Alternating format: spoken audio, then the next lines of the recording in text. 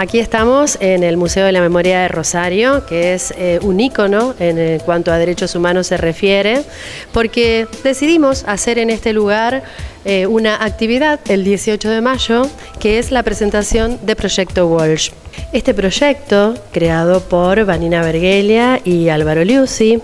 trata de la investigación que hizo Rodolfo Walsh allá por 1956 y 1957 sobre los asesinatos en José León Suárez, lo que dio lugar a la obra Operación Masacre. Bueno, a través de un blog, Proyecto Walsh, eh, Rodolfo tiene su cuenta en Twitter, en Facebook y otras redes sociales y va eh, transmitiendo en tiempo real los pasos de su investigación, cómo llegó a escribir su obra Operación Masacre. Y también a través de este proyecto podemos interactuar con él. Como ustedes saben, desde hace un tiempo a esta parte nuestra oficina viene impulsando actividades vinculadas al uso de las nuevas tecnologías y la temática específica de los derechos humanos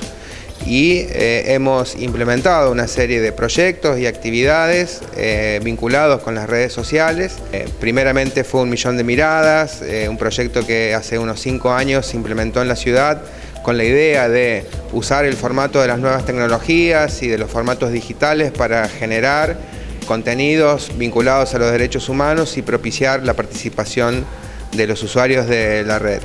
Luego eh, vino el proyecto del blog y las redes sociales en materia de derechos humanos, comunicación, difusión y participación. Junto a Marta y Álvaro Liuzzi hemos pensado en la actividad del 18, que es redes sociales y derechos humanos, el encuentro para debatir y para presentar los proyectos que hay en danza en la ciberesfera.